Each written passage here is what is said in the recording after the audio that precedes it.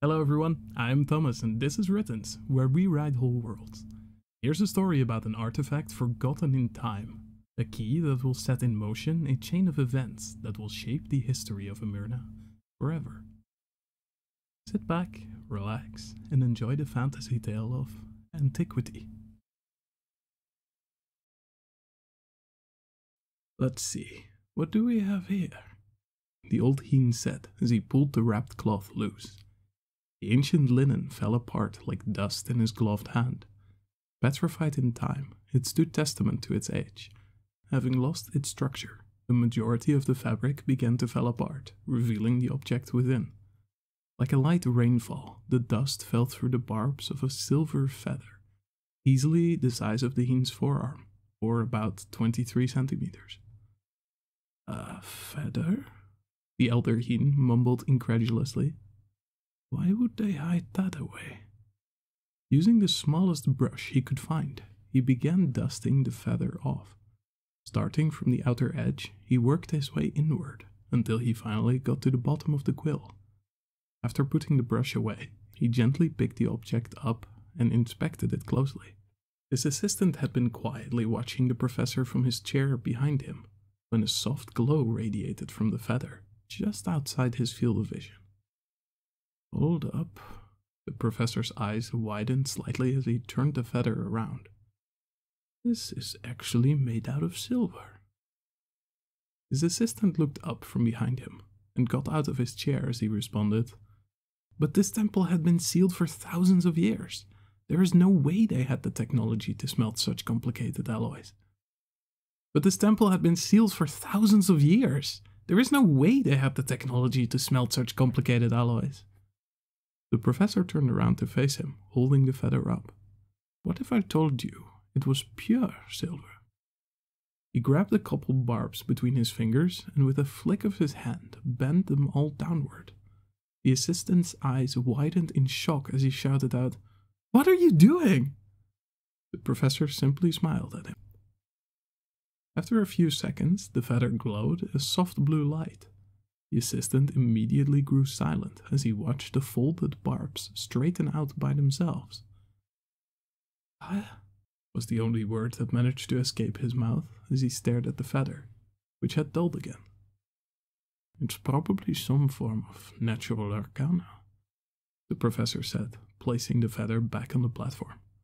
We'll have to ask Arcanium Garantus to analyze it. Or, he gave his assistant a mischievous look, we could try to figure it out ourselves and become famous.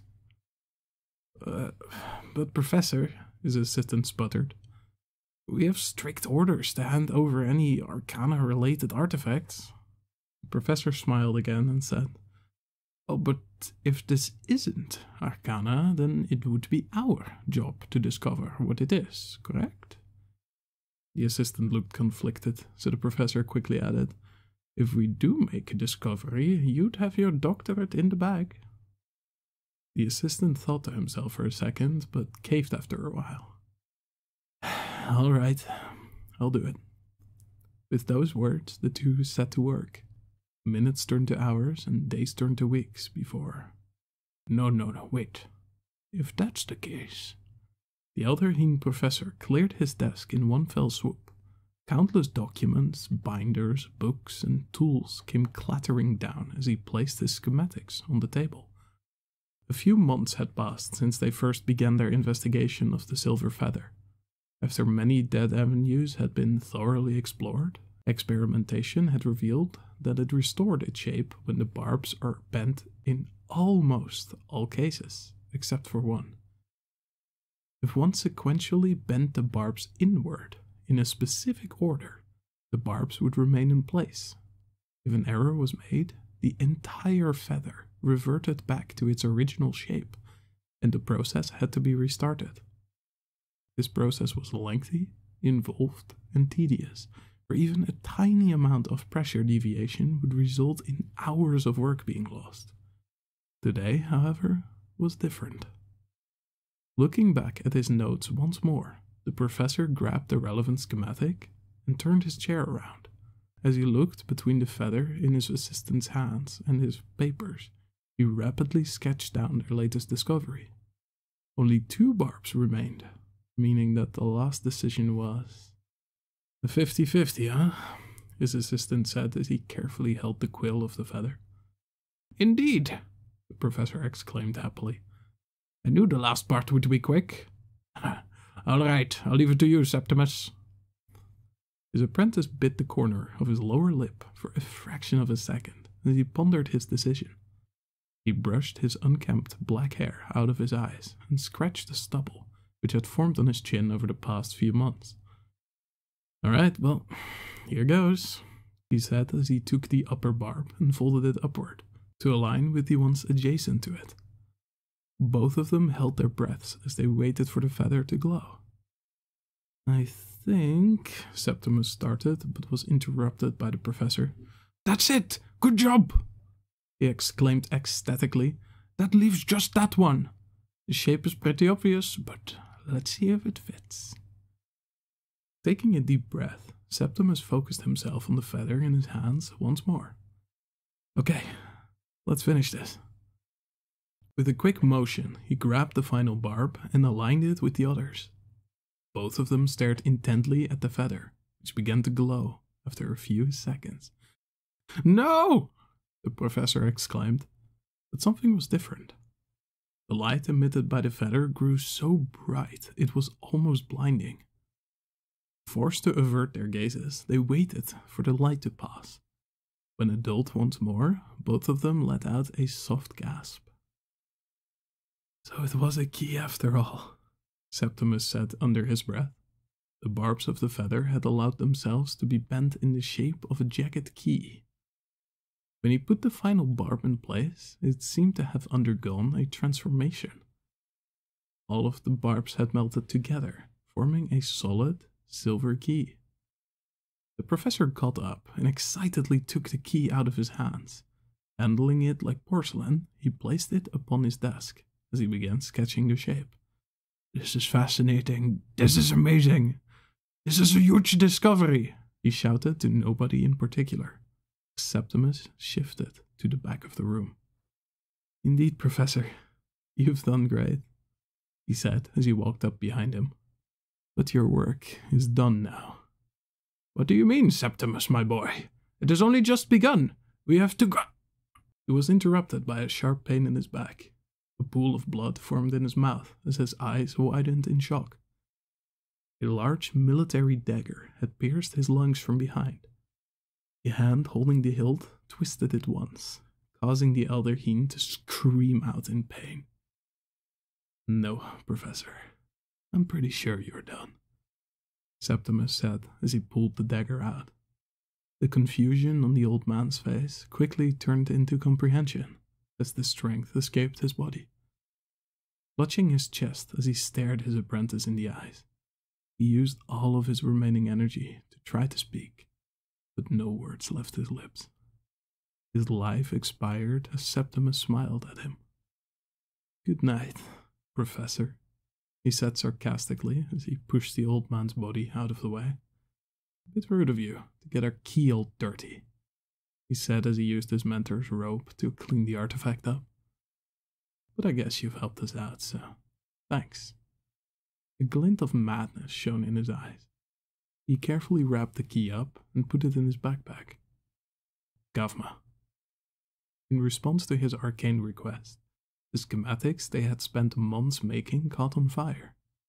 The flames quickly spread to the canvas of their tent, soon covered the majority of the interior. Quickly exited the tent without looking back at the body of his mentor and pulled his hood up. The Professor's body was found a few days later during a routine checkup. The nature of the fire made it impossible to investigate what had happened, and none cared enough to question it. Soon he would be remembered only by his statistic. Professor G. R. Ernstbairn. Cause of death? Occupational fatality. Well, get to it! The thin and tall man shouted at Septimus as he pushed the latter forward. A small group of people followed behind the two within his A small group of people followed behind the two within this sanctum of a temple long forgotten. The darkness of this place was held at bay by virtue of two dim candles, which barely illuminated the ground upon which they stood. The apparent leader wore loose clothes that concealed the majority of his form, but his exposed hands and face held intricate tribal tattoos. The sclera of his eyes had been dyed red. Septimus clutched the silvery key tightly, the fruit of his many months of labor, as he approached the end of the interior. At the base of the back wall stood an inelegant stone table, rudely carved out of a larger rock still attached to the floor. This structure formed the foundation of a pedestal upon which nothing lay. The sconces on the pillars that supported the room were petrified through time. None of their fuel remained. Anything organic that had existed here had perished instantly when the seal placed upon this temple was removed, creating odd piles of inconsistent dust throughout the temple. Taking a few steps forward, he placed his hands upon the table and in one motion jumped onto it. Now, where are you? He mumbled to himself as his hands gently slid over the wall. Carefully inspecting every square centimeter his hands could reach, he quickly discovered no opening existed. Cold sweat built up on his forehead as he panicked slightly. Not daring to turn around to tell the leader, he restarted his investigation. What are you waiting for? The leader's cold voice rang loudly through the empty sanctum, freezing Septimus in place.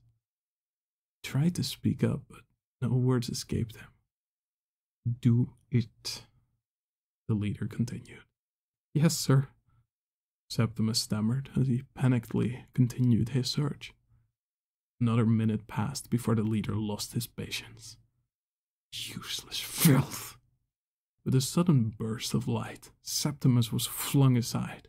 An invisible force had struck him hard enough to crash him into the eastern wall, a solid five meters away from where he stood. With a sickening crack, he crumpled to the ground, unmoving. His blood began to pool underneath him, leaving only the key behind on the pedestal. The leader walked up to the key and gently picked it up. As he held it up above the pedestal, the markings on his arms and face began to glow alongside the key. Finally, he muttered as light filled their vision. The acolytes who had been following behind them began to whisper amongst each other, seemingly distraught by the turn of events. As the light grew brighter, the five of them took a step back, watching their leader get swallowed in the light. An omnidirectional, high pitched shriek filled the empty temple halls.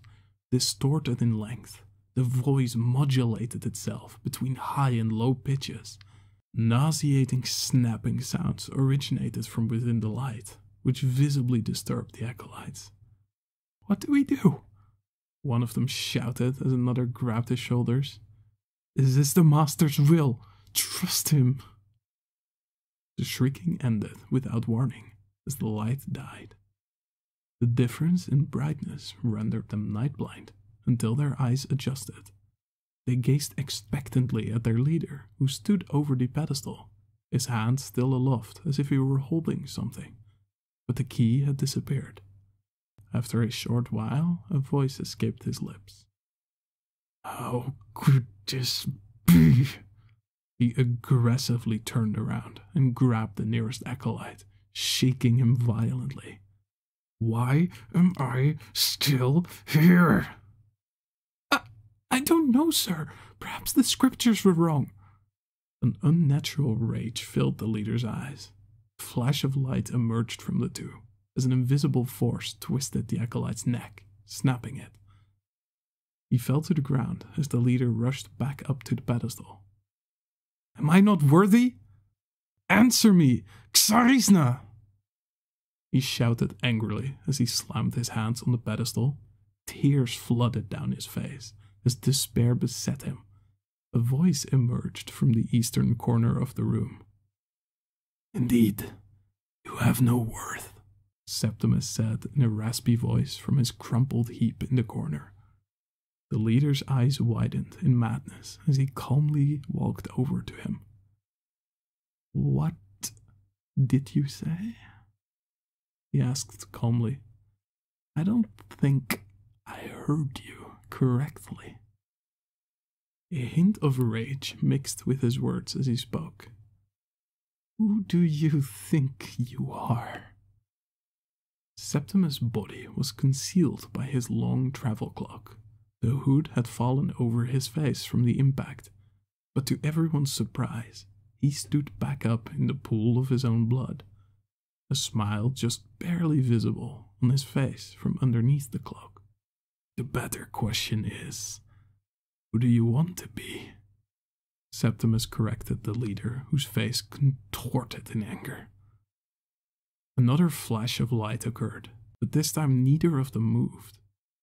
The four remaining acolytes held their breath in fear of this exchange as the leader shouted out, What witchcraft is this? Seemingly baffled by the ineffectiveness of his arcana, he looked at his own hands as Septimus took a step closer to him. Placing his hands on the hem of his hood, Septimus pulled it back. His middle length black hair was scruffy, and the light beard on his face looked unkempt. But what truly shocked the leader was What's with those eyes? He uttered, fear and anger mixing as he stared at Septimus' face, for his eyes now carried not one, but two pupils each. What did you do? Septimus smiled at him once again as he responded, That which you could not. He grabbed the leader by the throat and lifted him up in the air. What are you doing? He sputtered as he grabbed and clawed at Septimus' hand. Cleaning up, Septimus said calmly. With one twist of his wrist, the leader's head bobbed forward with a snap, his body hanging limp in his hand. Seemingly disinterested in his remains, Septimus let him fall to the ground and walked over to the acolytes. Let's go, he said, gesturing for them to follow him. They looked between each other, but none dared to speak against him. They followed obediently as he exited the temple. Xarizna has returned.